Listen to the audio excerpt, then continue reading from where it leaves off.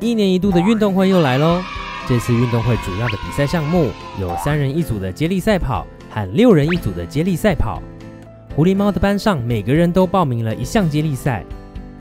老师说：“狐狸猫啊，体育股长已经把报名的组数写在纸条上了。今天是报名的截止日，你要记得去报名哦。”狐狸猫打开纸条之后，发现上面只有一个数字，写着七。嗯，体育股长该不会把两个比赛的组数加起来了吧？哦，为什么我的同学都这么天才呢？我只知道班上有二十九个同学，但是大家都放学了，我怎么问呢？哦，怎么办？啊，狐狸猫，你别紧张，让我来帮你吧。是时候出动一元一次方程式喽。首先，第一步是假设未知数。我们假设有 X 组报名三人接力赛，已知共有七组报名接力赛。那有 X 组报名三人接力赛的话，剩下的七减 X 组就是报名六人接力赛喽。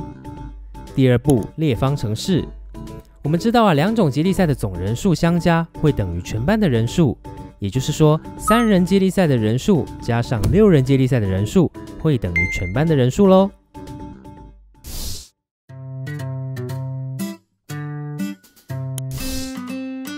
经过刚才的提示，试着列出正确的方程式吧。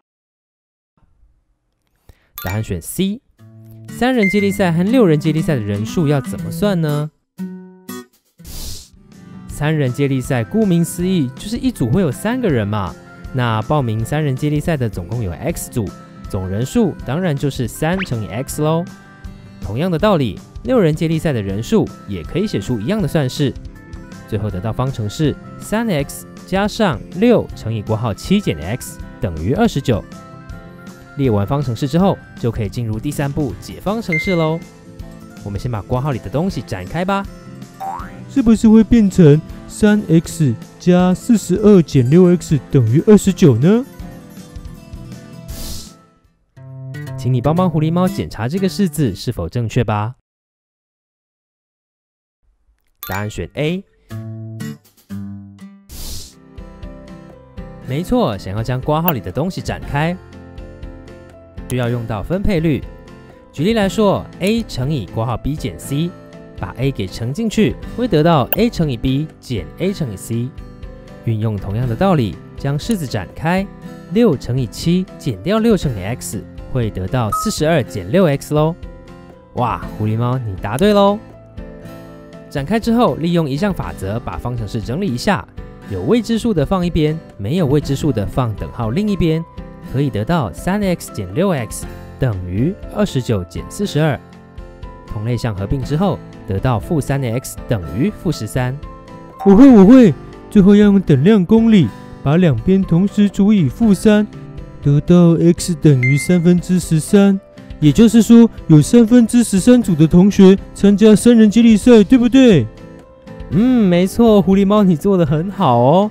最后参加六人接力赛的就是七减 x 等于七减掉三分之十三等于三分之八组喽。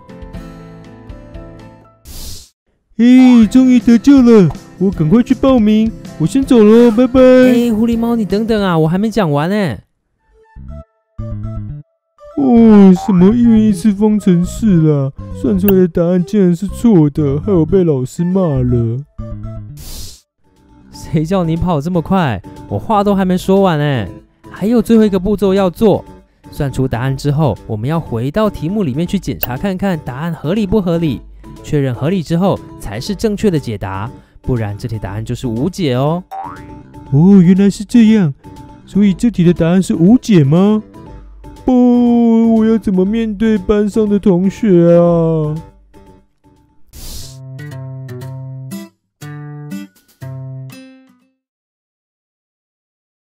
答案是 C。刚刚算出来的答案是分数，代表报名的组别是一个分数。可是报名的组别应该要是整数才合理啊！如果你觉得不可能是无解，就回去检查一下题目吧，看看自己有没有算错的地方哦。啊！我发现问题了啦！我忘记把自己算进去了。班上总共应该有三十位同学才对哦。狐狸猫，天哪，你真是粗心哎！我们赶快来重算一次吧。